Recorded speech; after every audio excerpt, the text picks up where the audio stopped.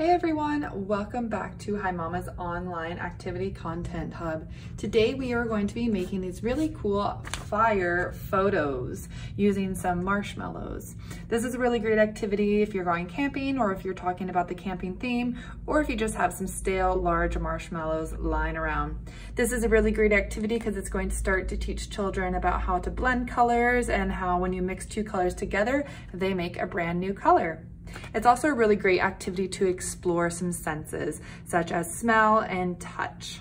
For this activity, you are going to need some paint here. I've chosen the colors red, yellow, and orange for my fire flames. You'll need some marshmallows. These are the really big kind, and these are great because they allow a lot of control and they have a really flat surface that's easy to paint with here. You'll need either some barbecue skewers or some sticks that you can find outside or some toothpicks. I've gone ahead and used these toothpicks. Just keep in mind that when you are doing this activity, there is a bit of a pointed edge. So when children are holding it, make sure they hold it down in the middle rather than at the top so we don't get any pricked fingers.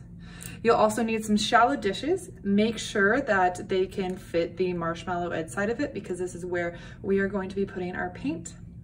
You'll need some white paper and you'll also need some, a brown marker for after the uh, paint dries. This is what is going to make our log.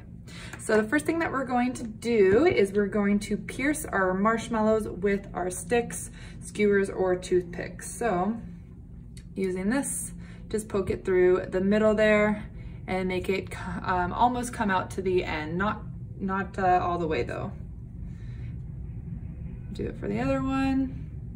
And this is really great too if you are camping, you can do this activity, find small sticks that the children can use, and it's uh, pretty versatile and mobile as well for camping.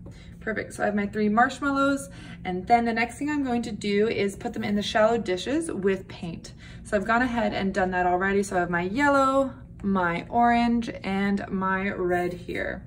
So then what we're going to do is have the child paint flames and they can rub their marshmallow around in the paint.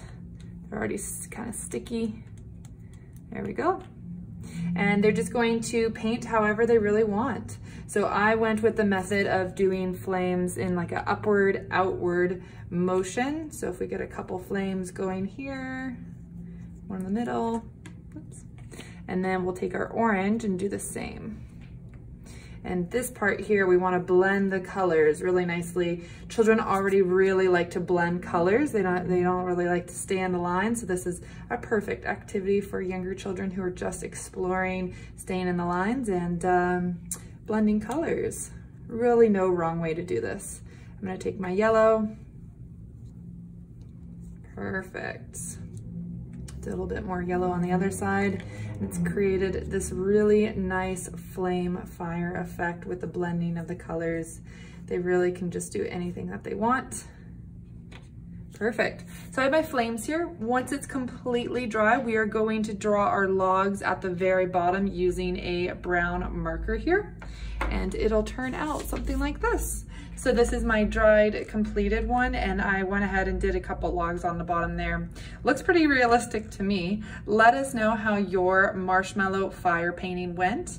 Maybe you snuck in a bite or two of the marshmallows. I hope everyone enjoys this activity and we'll have a great day. Bye.